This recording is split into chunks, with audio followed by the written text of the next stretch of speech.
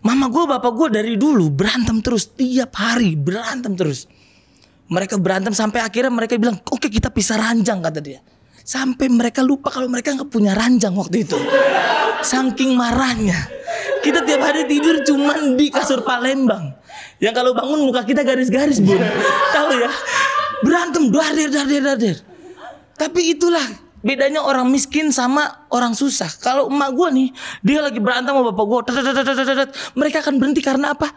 Karena rice cooker udah cetek.